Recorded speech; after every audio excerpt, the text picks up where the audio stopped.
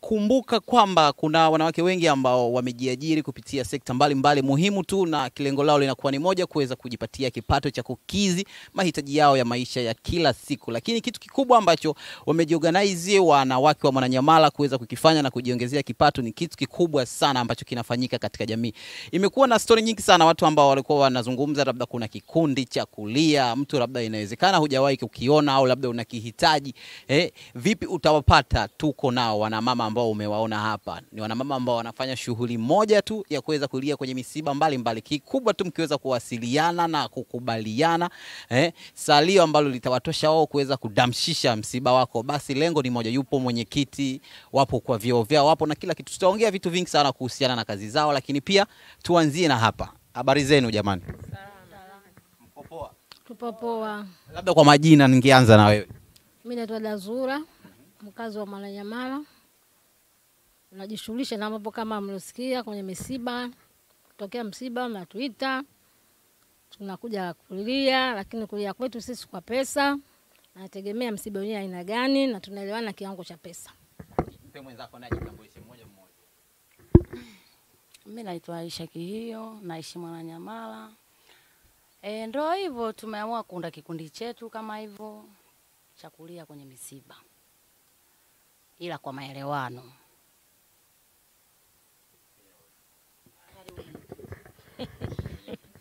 Mimi naitwa Kasen Heli. Tumeunda kikundi hiki kutokana na ugumu wa maisha. Katika tuna kazi yetu ni kulia katika misiba, kutegemea na jinsi tunavyopatana. Kutokana na ugumu wa maisha, hii ndio kazi yetu. Tumejichagulia kazi hii kutokana na mambo mengi magumu sana sasa hivi. Kufanya kazi zozote sasa hivi hatuwezi. Mtu akituhitaji tunapatikana Mwanyamala kwa Mazakaria. Mimi Hamisa Selemani naishi hapa Mlanyamala. Kazi yetu ndo kama hivyo inavyoonekana. Kuna kikundi cha kulia hapa, asina sina mengi zaidi. Mimi Zainabu Saidi, ndo kama hivyo tena, kazi zetu ndio kama hiyo. Tumeamua kufanya kazi hiyo ya kulia, ukitutaka kwa mama Zakaria. Mi naitwa Jacqueline. Kulia mi nalia tena, nikianza kulia nalia mpaka basi. Nakumbuka marehemu wote. Mi naitwa Jacqueline. Tumeipenda hii kazi ya kulia kwa maana ndio inatuingizia kipato. Tunapatikana kwa mama Zakaria. E bana, eh, wamejitambulisha wenyewe kama ulivyowasikia ambao wanakiunda kikundi chao. So nataka nizungumze na mwenyekiti. Mwenyekiti, labda kikundi chenu kinaitwa jina gani? Bado hatujakipa jina, Na tokea mmeanzisha kikundi chenu sasa hivi ni muda gani?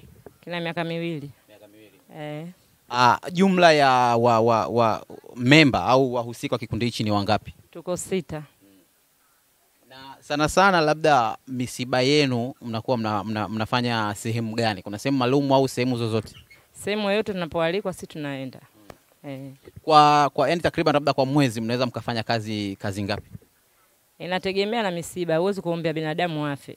Unapotokea msiba miwili, mitatu, minne, kazi inapotokea si tunaenda, lakini sio tuseme tuombe Mwenyezi Mungu mtu afe kisa tukalie tulipoela, hilo jambo hakuna. E, inapotokea tuna wanaotuhitaji huwa tunapigiwa simu au tunafatwa, tunaenda kufanya kazi yetu. Labda kuna mtu anaweza akajiuliza eh, mnaenda kwenye msiba, mtu hamumjui, mnalia kwa hisia, hivi inakuwaje? Kutokana na ugumu wa maisha na tushafiwa sana wengine, yani hata ukitembea tu unaweza kuchukia unalia tu, kutokana na matatizo ni mengi, hatuna kazi, wengine matatizo kibao, shida kibao yani.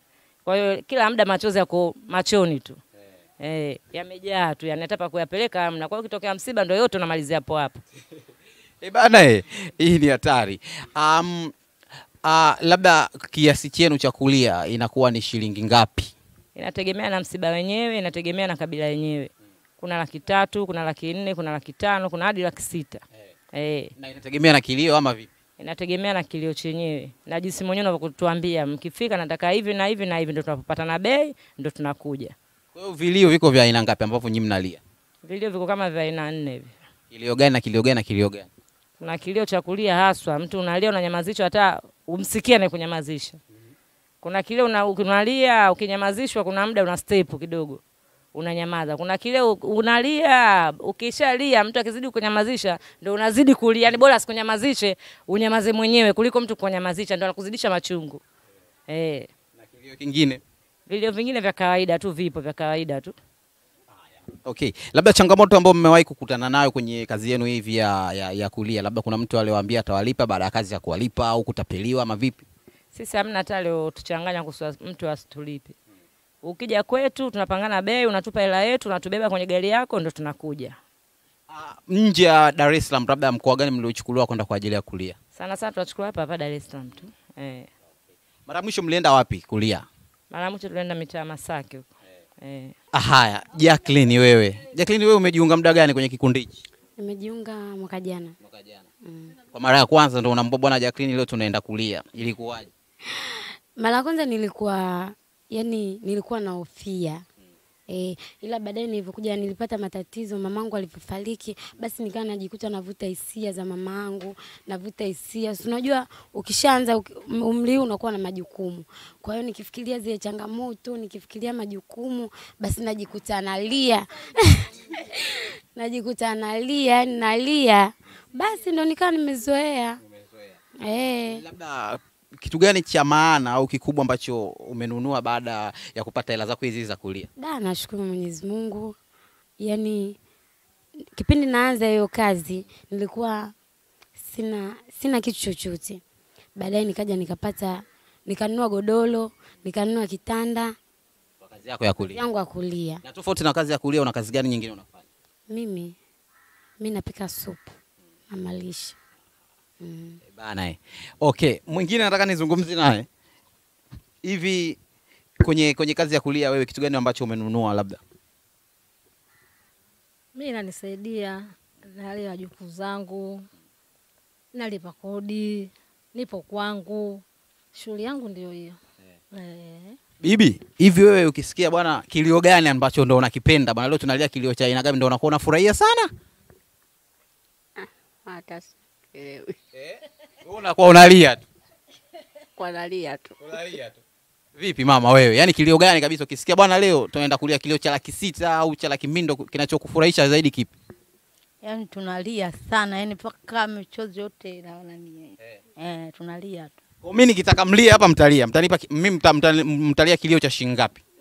Sasa nategemea kuna vilio vya aina kama nne umeambiwa, na hasa msiba unaouma, labda mtu kafiwa na mume wake, yeye anasema hawezi kulia. Kwa mimi nilikuwa na mume wangu, nataka mlie, Akasema si mume wako wewe, sisi tulie, tupe laki sita.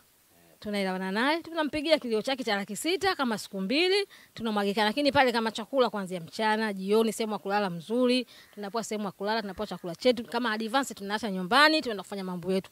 Msiba labda wa mama, msiba wa mtoto, msiba wa mume, ndio ambao msiba ambao unajua sio kama bibi sijui kafa sijui mtoto wa shangazi. A a, misiba hiyo minne: mume, mama, mtoto na kadhalika. Ile misiba inayouma.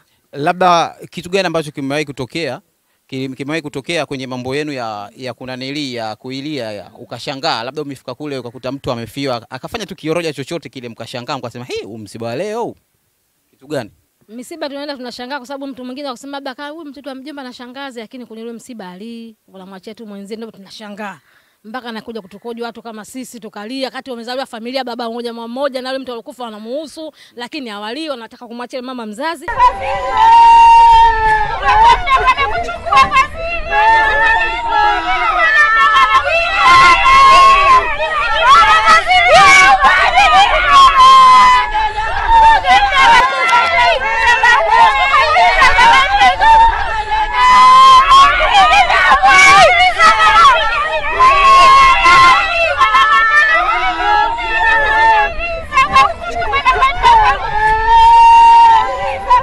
E bana, mtazamaji, umejionea kilio ambacho nimepatiwa ni kilio cha laki moja tu kama ulivyokiona, lakini wenyewe wanakuambia kiko cha laki moja cha laki tatu hadi cha laki sita. Mimi nataka niende moja kwa moja kwenye laki sita.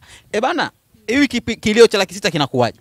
Yaani kilio cha laki sita inakuwa patoshi, mabati yote yanafunuka, watu waelewani, tunaanguka tunagalagala kama hivi, tunanyanyuka, hatuelewi, tunavurugwa. yani laki sita ikae hapo, mambo yanakuwa mazuri kabisa yani. Eh, tafurani watu waelewani hapo, nakwambia mabati yote milango itabomoka, yani hatuelewani, hamna kunywa pombe, hamna ni sisi wenyewe sia zetu tu.